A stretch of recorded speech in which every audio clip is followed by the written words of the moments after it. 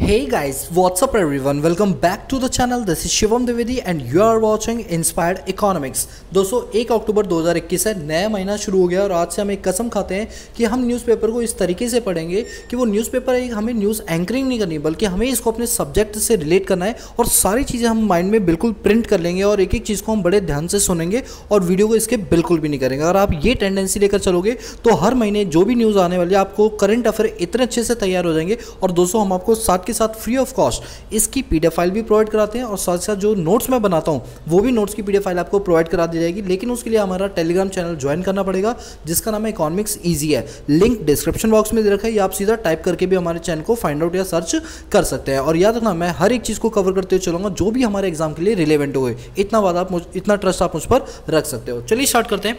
यहाँ पर एक छोटी सी न्यूज़ आती है कि बाई इलेक्शन होने वाले हैं। अच्छा मैं आपको ना, मुझे इस न्यूज़ से कोई मतलब नहीं है। सिर्फ़ हमारे एग्ज़ाम में एक पॉइंट आ जाता है बाई इलेक्शन को लेकर कि। बाई इलेक्शन क्या होता है? दोस्तों, आपकी जानकारी के लिए मैं आपको बता दूँ बाई इलेक्शन का मतलब होता है कि जब एक बार इलेक्शन हो जाता है तो वो सरकार पाँच सालों तक के लिए बनाई जाती है। चाहे वो स्टेट गवर्नमेंट हो, चाहे वो यूनियन गवर्नमेंट हो। बट क्या होता है कि अगर किसी स्पेशल सरकम में, अगर मान लो उस मंत्री की डेथ हो जाती है, या वो इस अब इस लाइक नहीं रहा कि वो अच्छे डिसीज़न ले पाए तो ऐसे में उसको वहाँ से एग्जिट कर दिया जाता है बिना पाँच साल के कार्यकाल को पूरे किए हुए।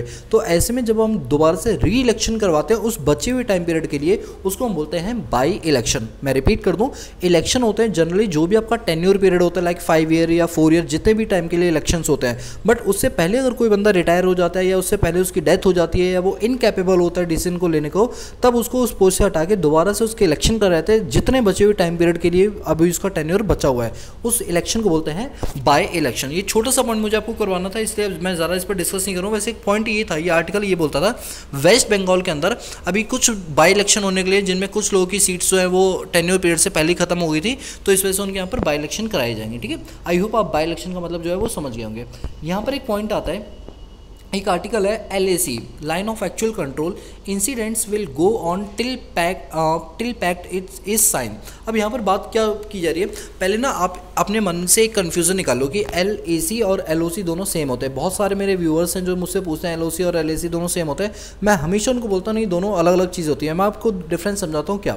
जो हमारा पाकिस्तान वाला रीजन है ना, दोस्तों, पाकिस्तान वाले रीजन के अंदर जो लाइन खींची गई जो बाउंड्री लाइन जो इंडिया और पाकिस्तान को अलग करती है, उसको बोलते हैं L O C line of actual control और जो चाइना की साइड पर लाइन खींची गई उसको बोलते हैं line of actual control L A C तो लाइन ऑफ़ कंट्रोल पाकिस्तान की साइड में जाता है और चाइना की साइड में क्या आता है? Line of actual control L A C जाता है। अब एल ए सी को लेकर यहाँ पर कुछ बातें बोली जा रही हैं। दोस्तों, इसके लिए मैं आपसे डिस्कस करूँगा। अपने यहाँ पर नोट्स पहले मैं आपको ना नोट्स बताता हूँ, ये एल की रिगार्डिंग क्या है। तो एल ए सी क्या होता है? लाइन ऑफ़ एक्चुअल कंट्रोल होता है, ठीक है? ये बेसिकली क्या है? यहाँ पर क्या होता है कि जो पार्टीशन किया गया था इंडिया और चाइना का तो उस टाइम पर एल ए सी लाइन खींची गई थी। ये तीन जगहों पर आपको देखने के लिए मिलते हैं। एक आपको ईस्टर्न सेक्टर में मिलेगी, जो कि अरुणाचल प्रदेश और सिक्किम। अभी मैं आपको मैप में भी दिखाऊँगा डोंट वरी दूसरी आपको लाइन मिलती है मिडल सेक्टर के अंदर जो उत्तराखंड और हिमाचल में पाया जाता है और तीसरी लाइन आपको देखने को मिलेगी वेस्टर्न वेस्टर्न सेक्टर, जो कि लद्दाख के अंदर पाई जाती है। ये कन्फ्लिक्ट स्टार्ट हुआ था, जो टेरिटरीज को लेकर कन्फ्लिक्ट है, ये उन्नीस में शुरू हुए थे। मैं आपको बता दूँ, उन्नीस में इंडिया और चाइना का वॉर हुआ था, जिसमें इंडिया हार गई थी। और इसकी वजह से जो हमारा एरिया था, वो चाइना ने कैप्चर कर लिया था पूरी तरीके से। अब यहाँ पर ये जो पूरी तरीके से यहाँ पर कैप्चर किया गया है तो उसके पीछे यहाँ पर क्या रीजंस बताया जा रहा है कि ये कैप्चर क्यों किया गया चलो मैं आपको बताता हूँ, मेरी बात को ध्यान से सुनना। इसको लेकर मैं आपको आपको यहाँ पर दिखाता हूँ। देखो, ये आप देख पा रहे हैं, ये जो मैप आप यहाँ पर देख पा रहे हैं, इसमें आप राइट हैंड साइड पर क्या देख पा रहे हैं, ये गालवान वैली आपको नज़र आ रही है। ये जो वैली है, ये पूरा पाकि, ये हमारा इंडिया का इंडिया का एरिया था। लेकिन अब ये जो लाइन है, इस लाइन के राइट हैंड साइड पे जो एरिया है, वो पूरा चाइना ने ऑक्यूपाई कर लिया है और लेफ़्ट हैंड साइड पर ये हमारा अपना एरिया बचा है। यहाँ पर नोट्स के अंदर आपने एक चीज़ देखी होगी कि आपको उसमें देखने को मिला, तीन हमारे यहाँ पर एरिया थे वेस्टर्न सेक्टर सेंट्रल सेक्टर और ईस्टर्न सेक्टर आप देखिए वेस्टर्न सेक्टर में आप यहाँ पर ऊपर की साइड देख सकते हैं और सेंट्रल सेक्टर में आप यहाँ पर ये देख सकते हैं रेड वाला एरिया ये चाइना का एरिया है और ये जो अरुणाचल प्रदेश वाला एरिया है। यानी ये हमेशा कन्फ्लिक्ट में रहता है। कन्फ्लिक्ट में क्यों रहते हैं? क्योंकि इसमें चाइना जो होता है, वो अपना दबदबा करने की कोशिश करता है। चाइना का ये कहना है कि ये पार्ट इंडिया का नहीं, ये पार्ट हमारे चाइना का है, जिसको लेकर हमेशा लड़ाई चलते रहती है। अभी आपको पता होगा, कुछ टाइम पहले हमारे यहाँ पर गलवान वैली पर हमारी लड़ाई चली थी। आपको याद है, ये गालवान वैली है, जिसके अंदर हमारे कई जो जवान है, वो यहाँ पर शहीद हो गए थे। तो बात ये होती है कि जो चाइना है, ये क्या करती है, हमेशा एलओसी के उधर आने की कोशिश करती है। उधर आने का मतलब है, हमारी इंडिया पर ऑक्यूपाई करने की कोशिश करती है। सबसे बड़ी बात क्या है, चाइना को हजम नहीं होती है, अगर हम कोई कंस्ट्रक्शन एक्टिविटी स्टार्ट कर दें। मैं आपको बता दूँ इंडिया के अंदर ये जो लाइन है, जो हमारा, जो लद्दाख वाला एरिया है, यहाँ पर हम क्या करें, खूब कंस्ट्रक्शन एक्टिविटीज़ कर रहे हैं। तो चाइना वालों लगता है इतनी ज़्यादा कंस्ट्रक्शन इनकी बॉर्डर एरिया पर हो जाएगी तो इससे तो इनका इंफ्रास्ट्रक्चर बिल्डअप हो जाएगा और कल को ये अपनी आर्मी को डिप्लॉय कर सकते हैं चाइना के अगेंस्ट लड़ाई के लिए। तो इसलिए वो क्या करते हैं, चाइना वाले हम पर वो क्या करते हैं, लड़ाई करना शुरू कर देते हैं, क्योंकि उनको नहीं पसंद है कि हम अपने एरिया में, मैं इंडिया की बात करूँ, हम अपने एरिया के अंदर कोई कंस्ट्रक्शन करें। इस बात को लेकर चाइना हमेशा खफा हो जाता है तो भाई उससे खफा होने की क्या बात है भाई? तुम अपने यहाँ पर कंस्ट्रक्शन करो, अपने एरिया में हम अपने यहाँ पर कंस्ट्रक्शन करेंगे। तो इस बात को लेकर हमेशा कन्फ्लिक्ट देखे जाते हैं और एल यानी लाइन ऑफ़ एक्चुअल कंट्रोल पे चाइनीज़ का हमेशा दबदबा देखा गया और वो हमेशा डोमिनेंसी दिखाने की यहाँ पर कोशिश करती है। क्योंकि हम इंडिया वाले क्या करते हैं? अपने कंस्ट्रक्शन एक्टिविटीज़ वहाँ पर दबा के करते हैं। ये अच्छी बात है कि हम दबा के करते हैं तुम जलते रहो जितना जलना हो। और अगर तुम हमारे साथ कुछ गलत करोगे तो हम जवाबी कार्रवाई दबा के देने वाले आपको पता ही हमने उनके भी कई सारे जवानों को जो है वो ढेर कर दिया था, लेकिन चाइना ने कभी इस बात को एक्सेप्ट नहीं किया। और वो सबको पता है कि हाँ उनके भी कई मोर देन ट्वेंटी जो फ्रीडम फाइटर्स हैं, उनके वो वहाँ पर मारे गए थे। ठीक है? ये पूरा कॉन्फ्लिक्ट उसको लेकर देकर कहा गया है। अब बात उठती है, आपके मन में क्वेश्चन आ रहा होगा, सर, एक बात बताओ जो L A C line of actual control है सर इसको लेकर कोई रूल्स एंड रेगुलेशन नहीं बनाए जाते दोस्तों रूल्स एंड रेगुलेशन तो बनाए जाते हैं लेकिन जिस हिसाब से आप देख पा रहे हैं चाइना जो है वो यूएसए को भी टक्कर दे रहे हैं तो इंडिया तो उसके लिए कुछ भी नहीं है तो वो कब्जा करने की कोशिश करता है। हम इस बात को लेकर तो जाते हैं यूएनओ के अंदर लेकिन यूएनओ के अंदर क्या है ना पाँच कंट्रियों को आ, हमारे यहाँ पर पता है कौन से राइट दिए गए वीटो पावर दिए गए जो कि चाइना के पास भी है। तो जब ये मुद्दा हम वहाँ पर लेकर जाते हैं तो चाइना वीटो पावर के थ्रू इस मुद्दे को वहीं पर दबा देती है और हम कुछ नहीं कर पाते। इस बात को लेकर इंडिया हमेशा बोलती है कि जो वर्ल्ड में 195 नेशंस हैं 193 यूएनओ में, उसमें जो वीटो पावर पाँच कंट्री को मिली है, ये वीटो पावर हमको भी दे दो। छठी कंट्री हमको बना दो, लेकिन चाइना, आप समझ जाओ चाइना उसके अंदर है तो चाइना ये वीटो पावर कभी इंडिया को नहीं आने देगी। मेरा क्वेश्चन आप लोगों से ये बताओ, वो कौन कौन सी पाँच कंट्री जिनको वीटो पावर मिली है? एक चाइना है और एक यूएस है। तो आप सिर्फ़ बची हुई तीन कंट्रीज़ बता दो, और तीन कंट्रीज़ के पास वीटो पावर है, ठीक है? ये मेरा एक क्वेश्चन आपसे। ये चीज़ मैंने आपको यूनाइटेड नेशन वाले पॉइंट के अंदर कराई थी, ठीक है? चलो, इसके बाद अगर हम आगे यहाँ पर चलें तो सेकंड पेज से कुछ खास न्यूज़ यहाँ पर नहीं है। थर्ड पेज में भी कुछ खास न्यूज़ नहीं है। फोर्थ पेज में भी कोई खास न्यूज़ नहीं है। इसके बाद यहाँ पर एक खास न्यूज़ है, वो है चाइना का सेलिब्रेशन आप कहोगे, सर, आप चाइनीज़ बात क्यों कर रहे हो? दोस्तों, हमें किसी से दुश्मनी थोड़ी है। अगर कोई चीज़ हमारे करंट अफेयर की है तो हमें बिल्कुल पढ़नी चाहिए। दोस्तों, आज जो एक अक्टूबर है, आज बहुत खास दिन है। आज चाइना का इंडिपेंडेंस डे है। चाइना का क्या है आज? इंडिपेंडेंस डे आज ही के दिन, चाइना जो है वो आज़ाद हुआ था। तो सर, जैसे हमारा इंडिपेंडेंस डे पंद्रह अगस्त उन्नीस सौ सैंतालीस को मनाया जाता है तो चाइना का एक अक्टूबर को मनाया जाता है। जी हाँ दोस्तों, चाइना ने अपनी जो इंडिपेंडेंस हासिल की थी, वो 1940 1948 के अंदर की थी। ठीक है? कब की थी? एक अक्टूबर के अंदर। तो जब उसने इंडिपेंडेंस डे अपनी हासिल की थी तो उनके पूरे जो है आज एनिवर्सरी है और इस एनिवर्सरी के अंदर सॉरी मैंने आपको ना 1948 बोल दिया 1949 ठीक है? 1949 को ये देश जो है हमारे यहाँ पर क्या हुआ था? आज़ाद हुआ था। अब यहाँ पर बात की रही जो जो आप जिंग पिंग की फ़ोटो देख पा रहे हैं, ये क्या कर रहे हैं? अपनी बातों को रख रहे हैं सामने और ये एड्रेस कर रहे हैं किस तरह से चाइना ने माओ जिदोंग की जो नीतियाँ हैं उनको अपनाते हुए चाइना को कहाँ से कहाँ पहुँचा दिया। अब आपको मैं एक चीज़ बताता हूँ, ये सारी ना आप अपने लेवल पर पढ़ सकते हो, मैं एक एक पॉइंट यहाँ पर नहीं बताऊँगा, यहाँ पर उन्होंने कई मुद्दे उठाए। जैसे उन्होंने उठाए स्पेस स्पेस स्टेशन के अंदर। चाइना बहुत धीरे धीरे करके आगे बढ़ता जा रहा है। अब वो ये कोशिश कर रहा है कि वो यूएसए की नासा को भी उस स्पेस स्टेशन में पीछे छोड़ दे। कोविड नाइन्टीन के पेंडेमिक को लेकर यहाँ पर श्री जिंग, जी जिंगपिंग के द्वारा बोला गया कि किस तरह से उन्होंने कोविड पेंडेमिक के अंदर, अपनी उस पेंडेमिक के अंदर रिलीफ हासिल की है, किस तरह से उन्होंने कोविड के लक्षणों को दूर किया है, इसका वैक्सीनेशन की बात की है कि किस तरह से उन्होंने वैक्सीनेशन प्रोग्राम को आगे बढ़ाया उन्होंने सबसे बड़ी बात तो ओलंपिक्स को लेकर की है कि जो अभी टोक्यो के अंदर ओलंपिक्स हुए थे, उसके अंदर मैं आपको बता दूँ, अगर हम मेडल्स की बात करें तो सबसे ज़्यादा मेडल जो है, लगभग एक मेडल जो है, वो यूएसए ने जीते हैं और चाइना ने उससे थोड़े कम जीते अगर मैं गोल्ड मेडल की बात करूँ तो अड़तीस गोल्ड मेडल यूएसए चाइना ने जीता है और 39 गोटल गोल्ड मेडल्स यूएसए ने जीता है। यानी यूएसए से अगर देखें चाइना को कंपेयर करें तो थोड़ी दूरी है, कोई ज़्यादा नहीं है बट चाइना ओलंपिक्स में सेकंड नंबर पर है। तो कहीं ना कहीं चाइनीज़ ने चाइना के लोगों ने अपने प्लेयर्स को इनिशिएट करते हुए कहा है कि हमारे यहाँ पर हर एक व्यक्ति जो है, हमारे लिए बहुत ज़्यादा प्रोडक्टिव है।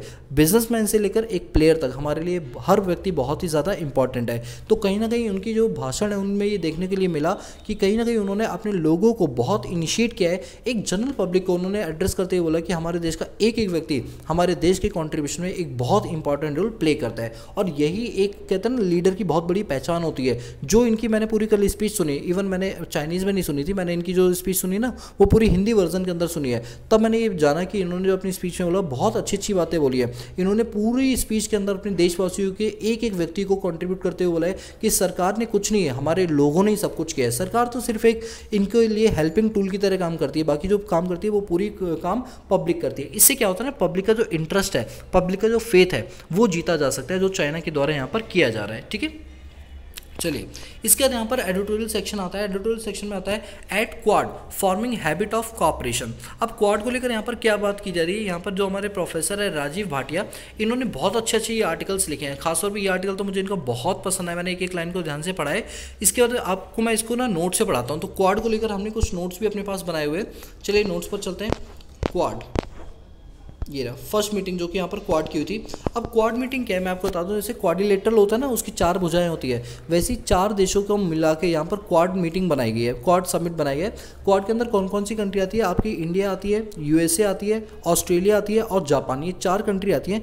बेसिकली ये ट्रेड को बढ़ाने के लिए ये चार कंट्री ने मिलकर अपनी एक अलायंस बनाई है, जो कि इंडो पैसिफिक रीजन पे, जो चाइना की डोमिनेंसी है, उसको रिड्यूस करने के लिए। अच्छा आपके मन में क्वेश्चन आ रहा होगा, सर, अभी आप बोल रहे हो ट्रेड को बढ़ाने के लिए और अब आप बोल रहे हो चाइना की की डोमिनेंसी सर आपको नहीं लगता आप दो दो चीज़ें अलग अलग बोल रहे हैं? हाँ मुझे बिल्कुल लगता है। लेकिन ये मुझे नहीं लगता, ये चाइना को लगता है। चाइना को लगता है ये क्वाड ग्रुप उनके लिए बनाया गया अब आपके मन में क्वेश्चन आ रहा होगा सर एक बात बताओ, आज तक इंडिया ने, आज तक यूएसए ने, आज तक जापान ने, आज तक ऑस्ट्रेलिया ने कभी ये नहीं बोला कि हमने ये ग्रुप काउंटर करने के लिए बनाया वो भी चाइना के लिए? तो सर चाइना क्यों बोलता है कि इंडो पैसिफिक रीजन के लिए बनाया गया चाइना इसलिए ऐसा बोलता है क्योंकि ये जो चारों कंट्री है, ये चारों डेमोक्रेटिक कंट्री है। डेमोक्रेटिक मतलब लोकतांत्रिक कंट्री है। अब लोकतांत्रिक कंट्री किसके हित में रहकर काम करती है? अपने नेशन अपने देशवासियों अपने लोगों के लिए काम करती है। बट चाइना क्या है? एक रिपब्लिक कंट्री है जो कि क्या है? डेमोक्रेटिक है। वहाँ पर जो सरकारें चलती है, उन्हें चुनाव के थ्रू नहीं चुना जाता। वहाँ पर पार्टीज़ चुनती है कि अगली पार्टी कौन सी आने वाली है। यानी वहाँ पर लोगों की मत नहीं ली जाती है। वो डेमोक्रेसी के अंदर नहीं है। वो कैपिटलिज्म को बढ़ावा देती है। पूंजीवादी को बढ़ावा देती है। तो अब जब चार कंट्रियाँ जहाँ पर डेमोक्रेसी चलती हो, जब वो कोई अलायंस बनाएँगे तो चाइना वाले कहते हैं अच्छा तो तुम हमारे यहाँ पर भी डेमोक्रेसी लाना चाहते हो? तो अब आप समझ गए हो कि चाइना डेमोक्रेसी लेकर कितना ज़्यादा चिड़ता है डेमोक्रेसी से। और ये चारों कंट्री डेमोक्रेटिक कंट्री है, जिसमें भारत नंबर वन पर आता है डेमोक्रेसी के मामले में, क्योंकि भारत मदर है डेमोक्रेसी की। तो यहाँ से क्या हुआ कि चाइना को लगता है, ये लग रहा है हमारे इंडो पैसिफिक रीजन पर काउंटर करने के लिए बनाया गया तो आई थिंक अब आप समझ गए कि चाइना वाले इंडो पैसिफिक रीजन का मुद्दा क्यों उठाते हैं? क्योंकि चाइना का कहना है इंडो पैसिफिक रीजन उनका है, ये उनकी टेरिटरी है। जबकि हम क्या कहते हैं, लोकतांत्रिक है। ये सभी लोगों की क्या है टेरिटरी है। क्योंकि हम चार लोग लोकतांत्रिक डेमोक्रेसी के अंदर आते हैं। इस वजह से चाइना इसको हमेशा क्या बोलता है इंडो पैसिफिक रीजन के नाम से इसको काउंटर करते हुए बोलता है। अभी क्या हुआ था, जो क्वाड लीडर्स थे, अब आप जानते हो यूएस में यूनाइटेड नेशंस की मीटिंग हुई थी जनरल काउंसिल जनरल काउंसिल की मीटिंग हुई थी। इस मीटिंग के अंदर सारे प्रेसिडेंट वगैरह, प्राइम मिनिस्टर वगैरह गए हुए थे। तो इंडिया के भी प्राइम मिनिस्टर गए हुए थे, ऑस्ट्रेलिया के भी गए हुए थे, जापान के भी गए थे और यूएसए के। तो वहीं पर बैठे हुए थे जो है बाइडन तो चारों लोगों ने, पहली बार ऐसा हुआ कि चारों कंट्रियों के मिनिस्टर्स ने या प्रेजिडेंट लोगों ने मिलकर वहाँ पर मीटिंग की और वर्चुअल नहीं, बल्कि सामने सामने बैठ के ऑफलाइन मीटिंग की फ़िज़िकल मीटिंग की। जब फ़िज़िकल मीटिंग होती है ना तो हमारे जो एक्सप्रेशन होते हैं, वो भी कई बार नोट कर लिए जाते हैं। उनसे भी कई सारे हमारे एक्शंस पे, हमारे प्लान्स पर डिफ्रेंशिएट करने के लिए मिल जाता है। जब भी मीटिंग हो तो ये बहुत फ्रूटफुल मीटिंग हुई। इस मीटिंग में ये डिसाइड किया है किस तरह से कोविड नाइन्टीन के पेंडेमिक को हम दूर कर सकते हैं, किस तरह से इंडो पैसिफिक रीजन पे हम चाइना की डोमिनेंसी को यहाँ पर रिड्यूस कर सकते हैं। अगर हम इसके बैकग्राउंड की बात करें तो नवंबर 2017 में इंडिया जापान यूएसए और ऑस्ट्रेलिया ने इसको क्या किया था? प्रपोजल दिया था किसको? कॉड ग्रुप को। और ये कॉड ग्रुप बेसिकली किससे बना था? इंडो पैसिफिक रीजन में जो चाइना की डोमिनेंसी है, उसको फ्री फ्लो करने के लिए कि कोई भी कंट्री जो कंट्री की जो शिप है, वो उसमें जा सकती है और अपना व्यापार कर सकती है। लेकिन यहाँ पर एक बहुत गलत चीज़ देखने के लिए मिली कि यहाँ पर क्या हुआ कि यूएसए ने इसको काउंटर करते हुए एक दूसरा ग्रुप बना लिया, जिस ग्रुप का नाम आपको बताइए ऑकस ग्रुप ऑस्ट्रेलिया, यूके और यूनाइटेड स्टेट्स ऑफ़ अमेरिका। इन तीनों लोगों ने ये एक ऑकस ग्रुप बना लिया। तो जब से ऑकस ग्रुप बनाए तब से कहीं ना कहीं क्वाड ग्रुप जो है, या जो क्वाड जो समिट है, इस पर उसका प्रभाव देखने के लिए यहाँ पर मिलता है। तो धीरे धीरे जो हमारा ये है ना, हमारा जो ग्रुप है क्वाड ग्रुप इसकी रिलेवेंस थोड़ी सी कम हो गई है और हम ऑकस को ज़्यादा भाव दे रहे हैं। क्यों? क्योंकि इसके अंदर यूएसए है। अब आप जानते हो, जब सेम चीज़ के लिए दूसरा ग्रुप बना दिया तो लोग क्वाड ग्रुप की ओर क्यों ध्यान देंगे? ऊपर से अब क्वाड ग्रुप में जो मीटिंग्स होती थी, उनमें आज तक ऐसा देखा गया कि धीरे धीरे ऑस्ट्रेलिया भी धीरे धीरे पीछे होती जा रही थी।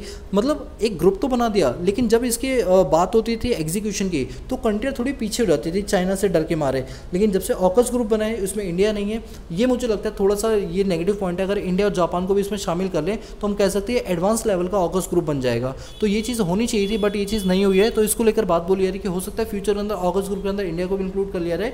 तो बेसिकली हम इस पर डेली चर्चाएँ करें तो अब मैं इस पर ज़्यादा डिस्कस नहीं करूँगा कि क्या था। तो हमारे ऑथर ने यही बात बोली है कि अभी जो क्वाड मीटिंग हुई थी तो क्वाड समिट के अंदर बहुत फ्रूटफुल बातें हुई हैं, खासतौर पर कोविड नाइन्टीन पेंडेमिक को लेकर, खासतौर पर इंडो पैसिफिक रीजन को लेकर बहुत सारी बातें हुई और फ्यूचर के अंदर कहा जा रहा है कि अगर क्वाड ग्रुप को अगर अच्छे से संभाला जाए तो कहीं ना कहीं ऑगस्ट ग्रुप को ये कहीं ना कहीं हेल्प करेगा। कौन सा ग्रुप क्वाड ग्रुप ठीक है? चलिए, अब यहाँ पर एक एडिटोरियल आता है state a clean sweep and the art of sanitation अभी शिवराज सिंह चौहान जो है, ये मध्य प्रदेश के क्या है चीफ मिनिस्टर है। इन्होंने कहा है कि जैसे आप जानते हैं, शौचालय। अभी एक स्कीम चली थी, जिसके तहत प्रधानमंत्री ने क्या बोला था? हर गाँव, हर कस्बे, हर सिटी हर शहर के अंदर क्या होनी चाहिए? शौचालय होने चाहिए। खुले में शौच बिल्कुल नहीं करनी चाहिए। पता है क्यों नहीं करनी चाहिए? देखो, आप इस टॉपिक को ना ऐसा मत सोचो, सर, आप क्या पढ़ा रहे हो, क्या नहीं पढ़ा रहे हो? देखो, कोई भी चीज़ अगर सरकार करती है तो बड़े सोच समझ के करती है। आप इसको उस सेंस में मत लो। You are like a administrative officer यार। आप ऑफिसर और देश बदलने की बात कर रहे हो तो हमें इन बातों पर चर्चा करनी पड़ेगी। जब हम खुले में शौच करते हैं तो क्या होती है, कई सारे बैक्टीरियाज होते हैं, जो हमारी बॉडी के अंदर बहुत आसानी से एंटर कर जाते हैं, जिसके से हमें कई टाइप की बीमारियाँ होने लगती हैं, और वो बीमारियाँ फैलने का यहाँ पर खतरा होता है। जिस बात को एड्रेस करते हुए बोला गया कि जो शौचालय अगर हम खुले में जाएँगे तो कहीं ना कहीं वो बीमारियाँ हमारे चपेट में आएँगी, हम चाहते बीमारी रहित हमारा देश बने। तो शौचालय हर घर में होना चाहिए। और हमारी महिलाओं के लिए खासतौर पर यहाँ पर खास बात बोली गई है कि अगर महिलाएँ खुले में जाके करेंगी तो ये कहीं ना कहीं प्रॉब्लम की बातें होंगी। हमारा देश क्या है इतना पीछे चल रहा है कि हमारी महिलाओं को बाहर जाके ये चीज़ें करनी पड़ रही है। ये चीज़ें तो घर में अवेलेबल होनी चाहिए। आज भी ऐसे कई गाँव हैं जहाँ पर बाहर लोग करने के लिए जाते हैं तो ये सारी चीज़ें घर में ही अवेलेबल होनी चाहिए। तो शौचालय बनाने के लिए गवर्नमेंट ने इवन यहाँ पर पैसे भी दिए हैं। जो गाँव के जो जिला पंचायत वगैरह के लोग होते हैं ना, उनको पैसे देकर शौचालय बनाने की बात बोली गई तो यहाँ पर मध्य प्रदेश के चीफ मिनिस्टर ने बोला है कि शौचालय का जो प्रोजेक्ट है, वो इतना ज़्यादा फ्रूटफुल रहा, इतना ज़्यादा सक्सेसफुल रहा कि उससे आज की डेट में, अगर हम भारत में देखें तो बहुत कम ही ऐसे गाँव के लोग हैं जो अपनी मर्ज़ी से बाहर जाते हैं शौच के लिए। उनके पास आज भी सैनिटेशन की फैसिलिटी इतनी अच्छी है कि वो कहीं बाहर नहीं भी जाएँगे तो उनको वो सारी सुविधाएँ अपने ही कस्बे के अंदर मिल जाएँगी। तो यहाँ पर शिवराज सिंह चौहान के थ्रू क्या बोला गया? मध्य प्रदेश की दबा की तारीफ़ की गई। इन्होंने बताया किस तरह से मध्य प्रदेश जो है, वो आने वाले समय के अंदर क्लीन अर्बन ऑर्गेनाइजेशन को आगे बढ़ाने की कोशिश करें। दोस्तों, आपको मैं बता दूँ ट्वेंटी में एक रिपोर्ट होती है। रिपोर्ट क्या होती है? क्लीननेस सर्वे किया गया था कि कौन सी सिटी कितनी ज़्यादा क्लीन है, जिसमें मध्य प्रदेश जो है थर्ड रैंकिंग पर आई थी और फ़र्स्ट रैंकिंग पर हमारी, पता है, कौन सी आई थी? क्या आप मुझे बता सकते हो फ़र्स्ट रैंकिंग पर कौन सी थी? तो फ़र्स्ट रैंकिंग पर इंदौर थी। जो इंदौर सिटी है, वो बहुत नीट एंड क्लीन मानी गई थी और थर्ड नंबर पर मध्य प्रदेश है। तो आप मुझे बताओगे सेकंड नंबर की वो कौन सी सिटी जो नीट एंड क्लीन मानी गई? तो यहाँ पर उन्होंने मध्य प्रदेश को लेकर बोला कि मध्य प्रदेश जो है, वो आने वाले समय के अंदर स्वच्छ भारत अभियान के तहत बहुत बड़ा इनिशिएट लेने के लिए जा रही है। आने वाले टाइम के अंदर वो अपनी सिटी को और ज़्यादा क्लीन करेगी, पहले से भी काफ़ी ज़्यादा क्लीन करेगी। दोस्तों, यहाँ से सीखने वाला पॉइंट है कि किस तरह से जो छोटी छोटी स्टेट्स हैं, वो ही काम कर रही है हम डेली वाले ये काम क्यों नहीं कर पा रहे हैं? तो ये सोचने वाली बात है कि हमें भी अपने आप को टॉप फाइव रैंकिंग के अंदर लाना पड़ेगा, ठीक है? और अब ये आपके मन में क्वेश्चन है, सर, ये कौन सी एडिटोरियल है? ये क्यों लाया गया? मैं बता दूँ, कल गांधी जी का हैप्पी बर्थडे है। आप लोग ज़रूर विश कर देना बारह बजे, ठीक है? तो गांधी का कल हैप्पी बर्थडे यानी दो अक्टूबर है, गांधी जयंती है। तो इस बात पर शिवराज सिंह चौहान ने कहा कि महात्मा गांधी का कहना था कि अगर आप देश को जीत भी लो, आप अपनी फ्रीडम ले भी लो, लेकिन असली फ्रीडम उस दिन मानी जाएगी जिस दिन हम प्रॉपर स्वच्छ भारत अभियान को आगे बढ़ाएँगे। मतलब हर व्यक्ति के पास सैनिटेशन फैसिलिटी होगी। उस दिन हमारे देश विकासशील देशों के अंदर काउंट किया जाने लगे तो हम महात्मा गांधी के बताए हुए पद चिन्हों पर चल रहे हैं और उसी को निश्चित करते हुए ये बात यहाँ पर बोली है। क्योंकि कल गांधी जी का बर्थडे है ना तो उनको बताना भी कि देखो आपने जो बोला था हम वो सारे काम कर रहे हैं। क्योंकि ऊपर जाके जवाब तो देखो सबको ही देना है ठीक है?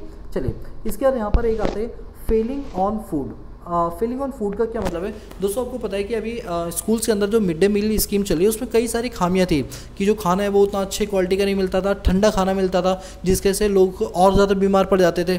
तो अब क्या हुआ? कि जो स्कीम है इसको चेंज कर दिया गया इसके नाम को भी चेंज किया इसके काम को भी थोड़ा सा चेंज यहाँ पर किया गया इसकी जो जो मिड डे मील स्कीम थी, इसको चेंज करके पीएम पोषण स्कीम बनाया गया। अब ये क्या है पीएम पोषण स्कीम इसके तहत कहा गया कि पहली बात तो ये है कि हम खाने की जो टेस्ट है, जो खाने का तरीका है, उसको बदलेंगे यहाँ पर। और खाना हर स्कूल के बच्चे को गर्म से गर्म प्रोवाइड करवाएँगे मतलब बिल्कुल ताज़ा फ़ूड यहाँ प्रोवाइड कराएँगे जिससे कि उनको एक healthy food healthy nutrition food यहाँ पर मिले। इसके लिए देखो मैंने आर्टिकल यहाँ पर बनाए हुए आप उसको एक बार पढ़ो। पीएम पोषण स्कीम ये आपका GS paper number two issue of related to children और हेल्थ केयर फैसिलिटी के हिसाब से बहुत ज़्यादा इंपॉर्टेंट है। अब ये पीएम ये यूनियन कैबिनेट है जिसमें प्राइम मिनिस्टर ने क्या किया? पोषण स्कीम को चलाया। जिसके तहत क्या किया जाएगा कि उन्हें गर्म खाना दिया जाएगा बच्चों को, जो कि सरकारी स्कूल के अंदर पढ़ते हैं। इस स्कीम को रिप्लेस किया गया मिड डे मील स्कीम से। उसको खत्म करके ये नई स्कीम लाई गई है। अब इसी स्कीम को बोला गया कि दो हज़ार छब्बीस तक इस स्कीम को चलाया जाएगा। अब ये पोषण स्कीम है क्या?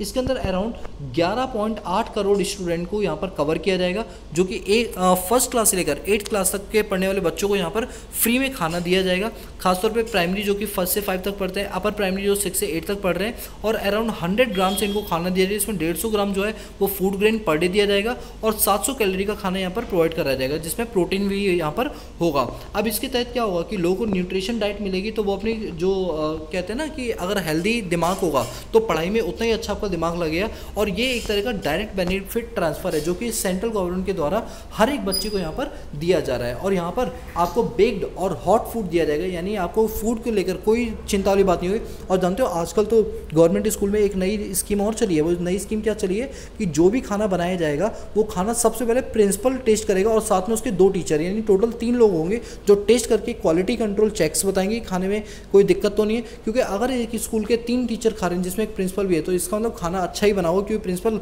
अगर खुद टेस्ट करने की बात ना होती तो बच्चों को गलत खाना भी बटवा सकता था लेकिन आप प्रिंसिपल खुद टेस्ट करेगा तो वो हमेशा खाने वाले, बनाने वाले लोगों को बोलो, भाई ऐसा है, खाना सही बना के लाइए नहीं बना के लाएगा तो मैं खुद टेस्ट नहीं करूँ ना बच्चों को खाने दूँगा। तो ये जब से हुआ है ना, तब से कहीं ना कहीं चीज़ें पॉजिटिव होती हुई नज़र आई। ना पहले तो मैं जानता हूँ ऐसे तीन चार साल पहले तो होता था मिड डे मील में छिपकली मिली कॉकरोच मिल रहे हैं डले हुए। तो यहाँ पर ये चीज़ें बहुत ख़राब होती है। ये हमारे बच्चों की हेल्थ पर एक नेगेटिव इम्पैक्ट डालेगा। लेकिन जब से गवर्नमेंट ने क्वालिटी कंट्रोल चेक्स इंट्रोड्यूस किए हैं। तब से देखा गया कि चीज़ें सुधरती हुई हमारे पास नज़र आ रही हैं, ठीक है? तो ये जो बेसिकली पूरा आर्टिकल है, वो यही बोलता है कि चाइल्ड की जो न्यूट्रिशन है, उसको लेकर सरकारें कितनी ज़्यादा सतर्क हो गई कि उन्होंने पीएम जो पोषण स्कीम है, इसके तहत कई सारे बच्चों को जो है यहाँ पर खाना दिया जा रहा है। इवन आपके मन में क्वेश्चन है, सर, अभी तो स्कूल से उतने चल नहीं रहे कोविड के टाइम पर स्कूल्स बंद है। तो गवर्नमेंट ने इसके लिए, गवर्नमेंट ने बच्चों के अकाउंट में पैसे डाले हैं, जिससे वो उससे खाना खरीद के अपना खा सकें, ठीक है? तो ये पूरा एडिटोरियल उस पर बेस्ड था। इसके बाद अगर हम आगे चलें यहाँ पर तो ये भी कोई ख़ास नहीं है यहाँ पर न्यूज़ अच्छा यहाँ पर बात चलिए। क्या चाइना क्वाड ग्रुप को ज्वाइन कर सकता है? जैसे आप जानते हैं क्वाड ग्रुप में ऑलरेडी हमारे चार मेंबर हैं। तो जो प्रधानमंत्री ना ऑस्ट्रेलिया के, इन्होंने कहा है कि जिस हिसाब से हमारा क्वाड ग्रुप जो है वो अच्छे लेवल पे चला है, अब तो खैर ऑगस्ट ग्रुप आ गया बट क्वाड ग्रुप अभी कोई खत्म नहीं हुआ है। ऐसा लोग कह रहे हैं कि क्वाड ग्रुप खत्म हुआ लेकिन हुआ नहीं है ऑफिशियली बिल्कुल खत्म नहीं हुआ है। ऑगस्ट ग्रुप है नो डाउट उसको काउंटर करते हुए है लेकिन कहीं ना कहीं क्वाड ग्रुप की भी अपनी एक अहमियत है। तो चाइना इनके द्वारा ऐसा बोला गया प्राइम मिनिस्टर जो ऑस्ट्रेलिया के हैं, कि हो सकता है आने वाले टाइम के अंदर फ्यूचर के अंदर चाइना भी इस ग्रुप को ज्वाइन कर अब आप कहोगे, अभी तो सर आप बोले थे चाइना जो है इस ग्रुप को लेकर बड़ा खफा खफा है। अगर चाइनीज़ को ज्वाइन कर लेता है तो चाइना पता है क्या बोलना चाह रहा है? चाइना बोलना ये चाह रहा है कि उस सी पर कोई और ना आ जाए, इस चक्कर में हम इसको ज्वाइन कर ले। देखो, अभी ये बहुत एक बड़ा मुद्दा है। मैं भी इस मुद्दे को उठाऊँगी, क्योंकि आधा घंटा मुझे सिर्फ़ इसको बोलने में लग जाएगा। इसलिए जब चाइना ज्वाइन करेगा, वैसे तो अभी कहा जा रहा है, ऐसा कोई पुख्ता कोई सबूत नहीं बोले गए बट जब ज्वाइन करें, तब हम इस पर जो है पूरा डिस्कशन करेंगे चाइना ने आखिर इसको क्यों ज्वाइन किया।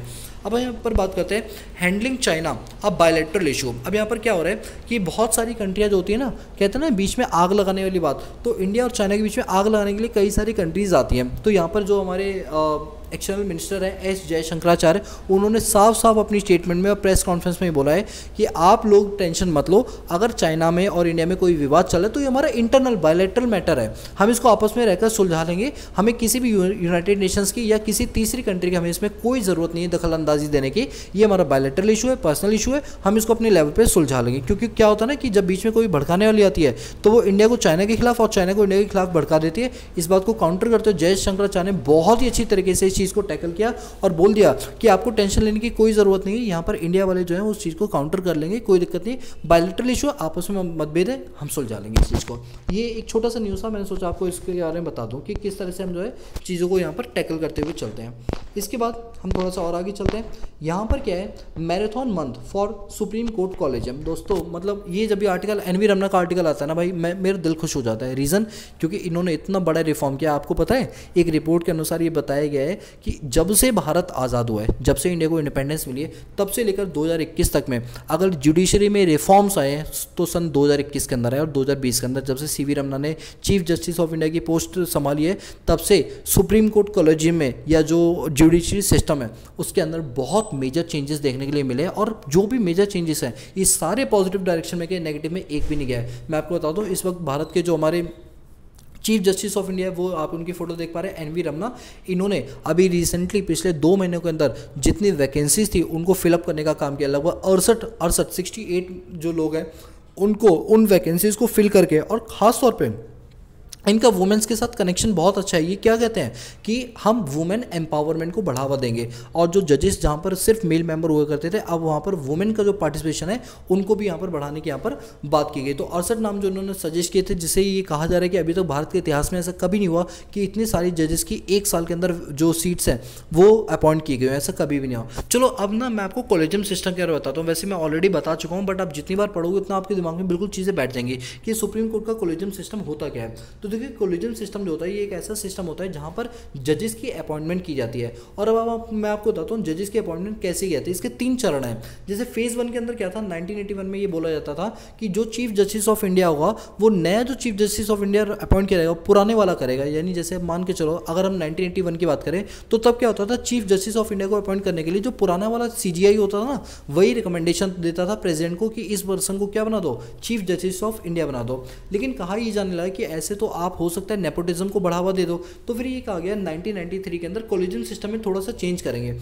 अब चीफ जस्टिस ऑफ़ इंडिया के साथ दो लोग और होंगे। दो सीनियर जजेस और होंगे सुप्रीम कोर्ट के, जो या तो रिटायर होंगे या जिन्होंने कई सालों का उनका एक्सपीरियंस रहा होगा। ये तीन लोग मिलकर डिसाइड करेंगे कि चीफ जस्टिस ऑफ़ इंडिया नया कौन बनेगा और ये अपनी रिकमेंडेशन किसको देंगे? प्रेसिडेंट को देंगे। फिर प्रेसिडेंट उस पर सिग्नेचर करके क्या कर देंगे? उस चीज़ को जायज़ बना देंगे। यानी चीफ जस्टिस ऑफ़ इंडिया की अपॉइंटमेंट हो जाएगी। लेकिन फिर ऐसा कहा जाने लगा कि तीन लोग भी कम पड़ जाते हैं। अब कमेटी के अंदर पाँच मेंबर होने चाहिए, जिसमें एक तो जो पुराना चीफ जस्टिस ऑफ़ इंडिया है, वो होना चाहिए और चार और मेंबर जजेस होने चाहिए, जो कि सुप्रीम कोर्ट में उनका अच्छा खासा एक्सपीरियंस रहा हो। यानी टोटल पाँच लोग, जिनमें एक जो करंट सी जी वो होंगे और चार सीनियर मोस्ट जजेस होंगे। ये डिसाइड करेंगे कि आने वाले टाइम के अंदर जो चीफ जस्टिस ऑफ़ इंडिया है, वो कौन बनने वाला है और ये अपनी रिकमेंडेशन किसको सौंपेंगे? ये अपनी रिकमेंडेशन प्रेसिडेंट को सौंपेंगे, फिर प्रेजेंट पर अप्रूवल देगा, जिसके बाद एक नए चीफ जस्टिस ऑफ़ इंडिया को वहाँ पर क्या किया जाएगा अपॉइंट किया जाएगा। तो सर, एक बात बताओ, जो ये एन वी रमना है तो ये एन वी रमना सर जब अपॉइंट किए गए होंगे तो इससे पहले क्या पाँच जजेस ने इनकी रिकमेंडेशन दी होगी? जी हाँ दोस्तों,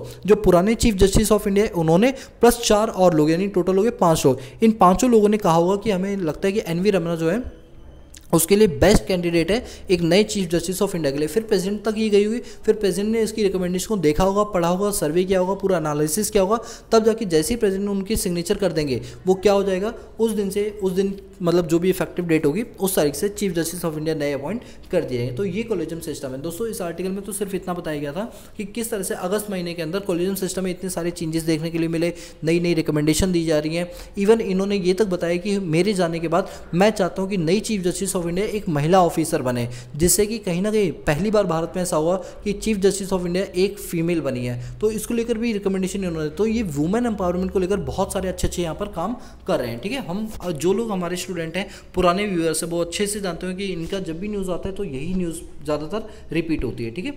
चलिए, इसके बाद यहाँ पर क्या हो रहा है कि नीट में ये बोला गया है कि जो ओवरसीज सिटीजन ऑफ़ इंडिया है, उनको जनरल कैटेगरी में डाला जाएगा। जनरल कैटेगरी में डालने का मतलब ये होता है कि जैसे कुछ लोग ऐसे होते हैं जिनका कनेक्शन तो इंडिया से होता है, लेकिन वो बाहर जाके काम करने लगते हैं तो वो क्या हो जाते हैं एनआरआई बन जाते हैं। तो इसको लेकर हमारे भारत के संविधान में कई सारी चीज़ें बोली गई हैं। अभी नीट जो यूनिवर्सिटी ग्रांट कमीशन है इसने दो के अंदर ये बोला है कि अगर कोई ओ ओवरसीज स्टूडेंट अगर इंडिया में एग्ज़ाम देना चाहता है, भले ही वो किसी भी कोटे से आता हो, लेकिन हम उसको कोटा कौन सा अलॉट करेंगे? जनरल का। फिर चाहे वो एस टी किसी से आता हो, हम उसे कोटा सिस्टम नहीं देंगे, क्योंकि वो भारत का रेजिडेंट नहीं है, वो बाहर से आया हुआ है। मेरी बात को समझ पा रहे हो? चलो, इसके लिए मैं आपको आर्टिकल दिखाता हूँ, तब तो आपको ज़्यादा अच्छे से समझ आएगा। ओवरसीज सिटीजनशिप ऑफ़ इंडिया जिसको ओसीआई बोलते हैं। O for overseas C for citizenship I for India O C I G S paper number two Indian constitution जो हमारी इंडियन पॉलिटी है, उससे रिलेटेड है ये, ठीक है? अब क्या है मिनिस्ट्री ऑफ़ जो मिनिस्ट्री ऑफ़ होम अफेयर्स है, इन्होंने बोला कि एक पर्सन सिटीजन कब माना जाएगा? जब वो 26 जनवरी 1950 से पर या उसके बाद भारत का क्या होगा? नागरिक होगा। हम उसको क्या बनाएँगे? सिटीजन बना देंगे इंडिया का। अच्छा हमारा सेक्शन सेवन ए जो ओसीआई का, वो ये बोलता है कि अगर मान लो कोई बाहर का पर्सन जो ओसीआई है बट उसके जो ग्रांड पेरेंट्स है, वो इंडिया के ही रहने वाले हैं तो हम उनको भी सिटीजनशिप दे देंगे। अगर उनका मैक्सिमम काम कहाँ से चलाओ इंडिया से चलाओ लेकिन पाकिस्तान और बांग्लादेश वालों को हम सिटीजनशिप इंडिया की नहीं दे सकते हैं। तो यहाँ पर बात क्या चल रही है? जैसे क्या होता है, जो ओसीआई लोग होते हैं, यानी जो बाहर के लोग होते हैं, वो इंडिया में आते हैं किसी एग्ज़ाम के लिए या उनकी फैमिली यहाँ पर रहती है तो उनके लिए क्या होता है, उनको कुछ छूट दी जाती है। क्या छूट दी जाती है कि वो अपना माइग्रेशन जो है, वो पाँच सालों तक के लिए ले सकते हैं। यानी पाँच साल तक उन्हें कोई वीज़े की ज़रूरत नहीं, एक बार उनको मिल गया वीज़ा तो बस उस पर वो पाँच साल तक इंडिया में स्टे कर सकते हैं। इवन एयरपोर्ट में उनके लिए अलग से पैकेज काउंटर बना दिया जाता है इमिग्रेशन काउंटर जिसपे उनका काम थोड़ा जल्दी तरीके से होता है। इवन जो ओ जो लोग होते हैं, उनको हम यहाँ पर इंडिया में बैंक अकाउंट खोलने का भी मौका देते हैं और इवन उनको पैन नंबर भी अलॉट कर देते हैं। लेकिन इसकी लिमिटेशन ये है कि जो ओ लोग होते हैं, उनको, यानी ओ मतलब ओवरसीज सिटीजन ऑफ़ इंडिया इनको हम वोटिंग राइट बिल्कुल भी नहीं देते। इवन अगर ये गवर्नमेंट जॉब भी करना चाहे भारत में तो ये नहीं कर सकते, क्योंकि ये जॉब का अधिकार सिर्फ़ रेजिडेंट इंडियंस को है और किसी को भी नहीं है। और इवन कुछ जगहों पर ये ट्रैवल भी नहीं कर सकते इंडिया के अंदर। वो रेस्ट्रिक्टेड होती है। अगर करना चाहते हैं तो गवर्नमेंट की प्रायर अप्रूवल यहाँ पर लेनी पड़ेगी। अब हम बात करते हैं कि जो पर्सन ऑफ़ इंडियन ओरिजन है, वो कहाँ के माने जाते हैं? वो पाकिस्तान, अफ़गानिस्तान, बांग्लादेश, चाइना, ईरान, भूटान, श्रीलंका, नेपाल को छोड़ के। जो हमारे इंडियन सिटीजनशिप है, उनको सिटीजनशिप दी जाती है बाकी सब फॉरेन इंडियन माने जाते हैं, ठीक है?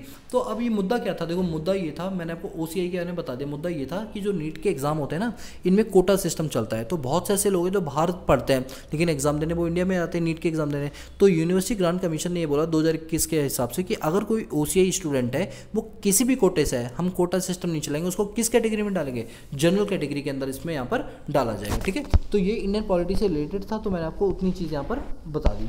अब यहाँ पर है urban mission to get a big outlet अभी अर्बन मिशन को लेकर बात चल रही है कि किस तरह से आप जानते हैं, जैसे कूड़ा करकट होता है, ये फैलाया जाता है, स्वच्छ भारत मिशन के थ्रू इसमें चीज़ें रिफॉर्म की जाती हैं। फिर इसके अंदर क्या होता है, Atal mission for urban transformation. तो ये सारे मिशन क्या करते हैं? इंडिया के अंदर जो कूड़ा करकट है, इसको फैलाने से रोकने का यहाँ पर काम करते हैं। देखो, कहा ही जा रहा है? आप कितने भी मिशन बना लो, जब तक इंसान अपने दिल से काम नहीं करेगा, जैसे मान के चलो, आपने स्वच्छ भारत अभियान बनाया, लेकिन मैं बाहर पेटीज खाता हूँ, बाहर जाके पेटीज खाए, चाय पी या कॉफ़ी पी, उसके जो डिस्पोजल ग्लासेस होते हैं, वो मैं उठा के कहीं भी फेंक देता हूँ। मतलब डस्टबिन में डाल के रोड पर कहीं भी डाल देता हूँ, अरे रोड मेरा घर थोड़ी चलो डाल दो क्या? लेकिन घर को साफ़ रखेंगे। क्या अगर हर इंडियन की ये सोच हो जाएगी, क्या इंडिया कभी साफ़ हो पाएगा? या सरकार कितने भी अच्छे रूल बना ले, जब तक हम अपनी सोच को नहीं बदलेंगे, हम अपनी सोच में चेंज नहीं लेकर आएँगे, तब तक कहीं कुछ नहीं हो सकता। तो इसलिए ये आर्टिकल यही बोलता है कि अर्बन मिशन में तभी काम आप कर सकते हो जब तक आप अपने आप को क्या करोगे? चेंज नहीं करते। तो अपनी मैंटेलिटी को चेंज करो, आप कूड़ा करकट अपने लेवल पर मत फैलाओ। एक दिन ऐसा आएगा, देश अपने आप स्वच्छ हो जाएगा, हमें किसी मिशन की ज़रूरत नहीं पड़ेगी। मुझे भी लगता है ये चीज़ बिल्कुल सही बोली गई यहाँ पर, ठीक है? चलिए, इसके बाद आगे अगर हम यहाँ पर देखें तो यहाँ पर बिज़नेस सेक्शन ये जो हमारा इकोनॉमिक सेक्शन है बिज़नेस सेक्शन इसमें बोला गया कि जो हमारा कोर सेक्टर है, वो आने वाले टाइम के अंदर 11.6 परसेंट से इंक्रीज हुआ है अगस्त महीने में। तो सितंबर और अक्टूबर मंथ में ये रेट और भी ज़्यादा बढ़ा हुआ मिलेगा। यहाँ पर पॉइंट उठता है, सर, ये कोर सेक्टर क्या होता है? जरा आप बताओगे। दोस्तों, ये याद कर लो, मुझे ये आठ के आठ पॉइंट आपको याद चाहिए। कोर सेक्टर इंडिया में कौन कौन से चलो, मैं आपको इसकी फोटोग्राफ दिखाता हूँ कि हमारे इंडिया में कौन कौन से जो है, वो कोल सेक्टर के अंदर काउंट किए जाते हैं। तो मैं आपको बता दूँ कोल सेक्टर के अंदर आठ इंडस्ट्रीज़ आती हैं, जिसमें कोल इंडिया आती है क्रूड ऑयल आता है नेचुरल गैस आती है रिफाइनरीज आती हैं इलेक्ट्रिसिटी आता है फर्टिलाइजर्स आता है सीमेंट आती है स्टील आती है। स्टील आती है। ये भारत की आठ इंडस्ट्रीज़ हैं। अगर ये आठ इंडस्ट्री में से एक भी बंद होगी तो भारत का इंपोर्ट सडन वे में बढ़ जाएगा। तो इसीलिए हम इनको भारत रत्न, यानी कोर इंडस्ट्री के नाम से जानते हैं। अभी कोर इंडस्ट्रीज़ अभी लॉकडाउन के टाइम पर, इनमें थोड़ा सा प्रोडक्शन कम हो गया था, जिसके चलते इनका जो ग्रोथ रेट है, वो भी कम हो गया था। लेकिन अब ये कहा जा रहा है कि इनकी जो ग्रोथ रेट है, उसके अंदर एक बहुत ज़्यादा, बहुत तेज़ी से यहाँ पर हाइक देखने के लिए मिला है। अगर हम अगस्त महीने का डेटा देखें तो यहाँ पर हमें ग्यारह से इसमें हाइक देखने के लिए यहाँ पर कोर सेक्टर के अंदर मिल जाती है। अभी कहा जा रहा है कि अभी कोविड जो प्रोटोकॉल है, वो नहीं चल रहा कोविड उतना नहीं फैला हुआ है, अभी चीज़ें सही चल रही हैं। तो हो सकता है ये अक्टूबर मंथ के अंदर या सेप्टेम्बर मंथ के अंदर इसमें सडनली एक उछाल देखने के मिले, यानी एक पॉजिटिव साइन देखने के मिले। दोस्तों, याद रखना, आप ये मत सोचो कि कोर इंडस्ट्रीज़ बढ़ रही हैं तो इससे हमें क्या फ़ायदा? दोस्तों, वहाँ एम्प्लॉयमेंट बढ़ रही है, लोग रोज़गार मिला है, लोग पैसे आएँगे तो वो डिमांड ज़्यादा करें डिमांड ज़्यादा करें तो प्रोडक्ट ज़्यादा बने प्रोडक्शन बढ़ेगा तो एम्प्लॉयमेंट बढ़ेगा। आप इसको पूरे चैन की तरीके से समझा करो। कोई भी न्यूज़ आप न्यूज़ की तरह से मत समझो, इसको पूरे इकोनॉमी से रिलेट करके देखा करो तो आपको एक सही आंसर मिलेगा। और जिस दिन आप न्यूज़ को इकोनॉमिक्स से रिलेट करना सीख गए, समझ जाओ आपकी इकोनॉमिक्स उसी दिन से स्ट्रांग हो गए। अगर मैं आपसे पूछूँ what do mean economy what do mean economics आप आंसर दे दोगे। लेकिन अगर मैं उसके रिलेवेंस पूछूँगा, जब आप उसका आंसर दोगे, मैं उस दिन मानूँगा कि आप इकोनॉमिस्ट बन गए हो। न्यूज़ को आप हमेशा इकोनॉमिक्स से रिलेट करना सीख जाओ। जिस दिन ही सीख जाओगे, सच बता रहा हूँ इकोनॉमिक्स बहुत ईजी लगने लग जाएगी आपको, ठीक है? चलिए अब यहाँ पर एक पॉइंट आ रहा है फ़िज़िकल डेफिसिट दोस्तों, ये चैप्टर अभी मैंने आपको पढ़ाया नहीं बट टू क्लास ट्वेल्थ में पढ़ाया था। फ़िज़िकल डेफिसिट का मतलब होता है कि जो हमारी भारत सरकार के खर्चे होते हैं, जब वो ज़्यादा हो जाते हैं और रेवेन्यू यानी कलेक्शन कम होती है तो उस केस में हमारा अकाउंट नेगेटिव में चला जाता है, यानी लॉस में चला जाता है, जिसको बोलते हैं डेफिसिट और क्योंकि ये एक साल में एक बार बना जाता है तो इसको बोलते हैं सालाना डेफिसिट जिसको हिंदी में इंग्लिश में होता है फ़िज़िकल डेफिसिट फ़िज़िकल डेफिसिट का मतलब होता है इन गवर्नमेंट की रिसीट कम है और एक्सपेंडिचर गवर्नमेंट के ज़्यादा है। तो फ़िज़िकल डेफिसिट होना कोई अच्छी बात नहीं होती। दोस्तों हमारा अभी जो फाइनेंशियल ईयर है, उसके अंदर ये देखा गया कि हमने फ़िज़िकल डेफिसिट को 31.1 परसेंट से टच कर लिया। ये बहुत ज़्यादा है भाई साहब। यानी सौ रुपये की कमाई है और हमारे खर्चे एक सौ इकतीस रुपये के हैं। अब क्या है, देखो, अगर आप एज अ इकोनॉमिस्ट देखते हो तो आपको पता चलेगा, ये तो अच्छी बात है। But as a economics student देखते हो तो आपको लगे ये गलत चीज़ है। देखो, हम दोनों एंगल से सोचेंगे। बिंग स्टूडेंट हम कहते हैं, भैया फ़िज़िकल डेफिसिट होना गलत चीज़ है। बट बिंग इकोनॉमिस्ट हम कहेंगे, एक लेवल तक फ़िज़िकल डेफिशिट होना अच्छी बात है। सर आप क्या बोल रहे हो? गलत तो नहीं बोल रहे अरे नहीं दोस्तों, सुनो मेरी बात। फ़िज़िकल डेफिसिट होना क्यों अच्छी बात है? एक लेवल तक, एक लेवल तक। मैं बोल रहा हूँ ना, एक लेवल तक। क्यों अच्छी बात है? मैं आपको बताता हूँ। अच्छी बात इसलिए क्योंकि जितना ज़्यादा फ़िज़िकल डेफिसिट हो रहा है, इसका मतलब गवर्नमेंट हम पर खर्चा ज़्यादा कर रही है। यानी गवर्नमेंट हम पर खर्चा ज़्यादा करिए माना कि गवर्नमेंट का सोर्स कम है बट जितना ज़्यादा गवर्नमेंट हम पर खर्चा करिए, इससे हम लोग क्या बन रहे हैं? प्रोडक्टिव बन रहे हैं। एक टाइम ऐसा आएगा तीन चार साल बाद कि जितना गवर्नमेंट अभी खर्चा हम पर करें हम इतना प्रोडक्टिव हो जाएँगे कि गवर्नमेंट को खूब सारा पैसा कमा कमा के हम देंगे। तो इसीलिए मैं कह रहा हूँ कि फ़िज़िकल डेफिसिट एक लेवल तक ठीक है, लेकिन उसके बियॉन्ड वो चीज़ें क्या हो जाती हैं? खराब होनी शुरू हो जाती हैं, ठीक है? और करंट अकाउंट का जो सरप्लस है, वो हमारा बढ़ गया है सिक्स बिलियन डॉलर से क्वार्टर वन के अंदर। करंट अकाउंट क्या होता है? बीओपी होता है ना balance of payment export import का जो डिफरेंस होता है, उसको बीओपी बोलते हैं। इसका अंदर दो अकाउंट बनते हैं, एक करंट अकाउंट बनता है और एक कैपिटल अकाउंट बनता है। करंट अकाउंट के अंदर बेसिकली गुड्स सर्विसेज़ और यूनिलेटरल ट्रांसफर्स आती हैं। और कैपिटल अकाउंट के अंदर क्या होता है कि जो एफ़ डी होता है एफपीआई होता है क्यू एफ़ आई हो गया एफ़ एफ़ आई हो गया, ये सारी चीज़ें इसके अंदर कवर की जाती है। तो जो करंट अकाउंट है, यानी export import of goods export import of service और यूनिलेटर ट्रांसफ़र ये हमारे यहाँ पर बड़ी हुई देखी गई है। सिक्स पॉइंट फाइव बिलियन से हमारे जो स्लाइड है, वो सरप्लस में गया है। ये अच्छी चीज़ है, जिसे ट्रेड डेफिसिट को यहाँ पर काउंटर किया जा सकता है, ठीक है? अब यहाँ पर क्या बात की जा रही है? इंडिया और ऑस्ट्रेलिया को लेकर यहाँ पर बात की जा रही है। यहाँ पर ना फ्री ट्रेड एग्रीमेंट की बात की रही है। दोस्तों, याद होगा मैंने इंटरनेशनल रिलेशंस जहाँ पर टॉपिक था हमारे बुक के अंदर चैप्टर नंबर फोर्टीन उसके अंदर मैंने आपको एफ़ टी का बताया था। इवन एफ़ ने बल्कि छः एग्रीमेंट का बताया था। F T A PTA custom union common market economic union और पॉलिटिकल यूनियन ये सारी चीज़ें मैंने आपको बताई थी। तो फ्री ट्रेड एग्रीमेंट क्या होता है कि अगर आप किसी कंट्री के साथ एफ़ कर लेते हो तो ऐसे केस में आप एक्सपोर्ट इंपोर्ट पर उनसे कोई टैक्स चार्ज नहीं करोगे, यानी फ्री फ्लो होगा गुड्स एंड सर्विसेज़ का। उसको बोलते हैं फ्री ट्रेड एग्रीमेंट दोस्तों, जितनी अच्छी, जितना ज़्यादा हम फ्री ट्रेड एग्रीमेंट उस कंट्री से करते हैं, उतना हमारा व्यापार बढ़ जाता है एफटीए के अंदर। तो अभी कहा जा रहा है कि ऑस्ट्रेलिया के अंदर हो सकता है दो हज़ार बाईस के एंड होते होते हम ऑस्ट्रेलिया के साथ एक एफटीए साइन कर लें, ताकि ऑस्ट्रेलिया से कोई माल आएगा और जाएगा तो उस पर क्या होगा? कोई हमें टैक्सेस देने की ज़रूरत नहीं पड़ेगी, यानी एक्सपोर्ट ड्यूटी और इम्पोर्ट ड्यूटी पे करने की ज़रूरत नहीं पड़ेगी। एफटी का मतलब क्या होता है कि हम अपनी मेंबर कंट्री यानी जिसके साथ हमने एग्रीमेंट किया है, हम उसे कोई टैक्स चार्ज नहीं करेंगे, यानी गुड्स और सर्विसेज़ का फ्री फ्लो होगा। तो कहा जा रहा है कि अगस्त दो सॉरी दो हज़ार बाईस के अंदर, आने वाले टाइम के अंदर इंडिया और ऑस्ट्रेलिया के साथ एक पार्टनरशिप की जा सकती है। एंड ऑस्ट्रेलियन अगर मैं डॉलर्स की बात करूँ तो 52 बिलियन डॉलर का यहाँ पर जो है वो एफटी के अंदर प्रस्ताव रखा जाएगा, ठीक है? चलो, आप चीज़ों को रिलेट कर पा रहे हो, सही तरीके से नहीं कर पा रहे हो? ठीक है? चलिए, इसके अगर हम आगे यहाँ पर चले तो वर्ड सेक्शन के अंदर बात बताई जा रही है hidden debt rising for partner of China R B I B R I plan दोस्तों, यहाँ पर चाइना ना एक बहुत ही बड़ा षड्यंत्र रचता है। दोस्तों, क्या होगा अगर मैं आप लोगों को बोलूँ कि आप लोग एक काम करो, कल को फ्यूचर में पैसों की ज़रूरत हो ना, मेरे पास आना, मैं तुम्हें लोन दूँगा।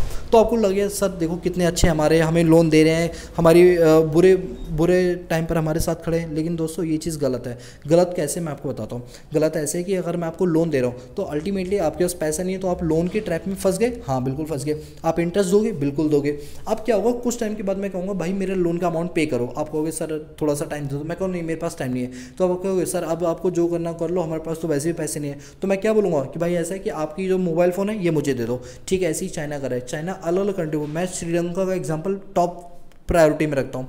अभी रिसेंटली में क्या किया हुआ है 2016 से श्रीलंका अपने पास लोन लेती है रही चाइना से। चाइना दबा के दे रहा है, कह रहे तुम्हें कितना चाहिए? तुम मुँह फाड़ो अपना, हम लोन देंगे। अब चाइना लोन दे रहा है दबा के।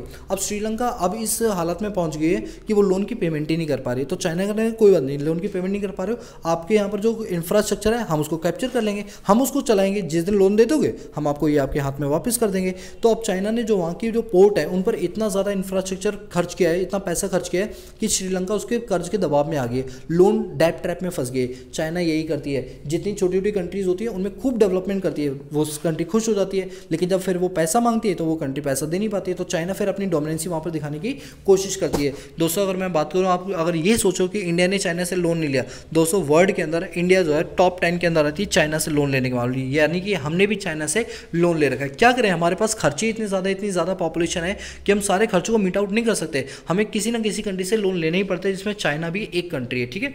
चलिए तो आपको ये बात समझ आएगी अराउंड फोर्टी टू ऐसी कंट्रीज़ हैं जो कि डेट ट्रैप में फंस चुके हैं अराउंड जीडीपी का टेन परसेंट से भी ज़्यादा पैसा उन्होंने चाइना से ले रखा है। खैर इंडिया की इतनी बुरी हालत नहीं है बट यहाँ पर यह कहा जा रहा है कि चाइना किस ऐसे हिडन तरीके से लोगों को लोन देती है मतलब कंट्री को लोन देती है और उन्हें अपने जाल के अंदर फंसा लेती है, ठीक है? तो ये सारी बातें होगी। बस आज के जो हमारे हिंदू न्यूज़पेपर है, इसमें इतना ही है। लेकिन अभी रुको रुको जाना नहीं है। अभी हम ये पढ़ेंगे, आज के में टॉप पचास कंपनी निफ्टी के अंदर कौन कौन सी है, ठीक है? जिसके अंदर हमारे पास आती है Adani port, Asian paint, Axis bank, Bajaj auto, Bajaj finance services, Bajaj finance, Bharti tell BPCL, Britannia India Cipla India, Cipla coal India, Divis lab, doctor Reddy lab, anchor motor, Grasim India H tech H D F C H D F C bank H D F C life, Hero MotoCorp, Hindustan company, Hindustan Unilever I C I C I bank, IndusInd bank Infosys bank, Indian oil corporation I T C G H W G H W steel Kotak bank L N T M and M Maruti Suzuki, Nestle India limited N T P C O N G C power grid corporation, Reliance industries S B I S B I life S bank, Shree cement, Sun pharma, Tata consumer product, Tata motors, Tata steel, Tata consultancy service, tech Mahindra, Titan, UltraTech cement और UPL और विप्रो। अच्छा एक बात बताओ IMF loan किसमें देती है? H में देती है। एच मतलब स्पेशल ड्रॉइंग राइट जिसमें पाँच बास्केट ऑफ़ करेंसीज आती हैं, जिसमें US dollar euro British pound Japanese और चाइनीज़ युआन आज की डेट में बताओ यूएस डॉलर कितने का है? सेवेंटी फोर रुपीज़ का, अगर आप खरीदना चाहो। यूरो कितने रुपए का है? एटी फाइव रुपीज़ का है। ब्रिटिश पाउंड कितने का है? नाइन रुपीज़ का। कल ये, परसों ये हंड्रेड रुपीज़ का था, एक रुपये कम हो गए। और जैपनीज येन सिक्सटी सिक्स रुपये का चाइनीज़ वन ग्यारह रुपये का। तो ये आपको एक्सचेंज रेट डेली डेली पढ़ने ताकि आपको पता चले डॉलर बढ़ रहा है, घट रहा है चाइनीज़ वन बढ़ रहा है, घट रहा है, ये नॉलेज आपको भी होनी चाहिए, ठीक है? तो आज के दिन न्यूज़पेपर एनालिसिस में इतने बाकी मिलते हैं नेक्स्ट क्लास में, तब तक के लिए पीस आउट